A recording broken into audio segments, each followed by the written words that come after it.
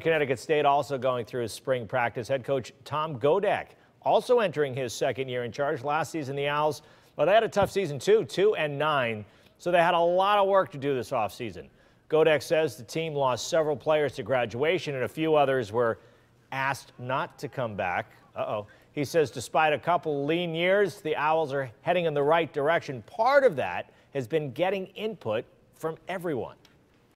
You know, I, I did more listening than actually preaching on that. I wanted to get their opinions on, you know, why we haven't been consistently winning and uh, competitive.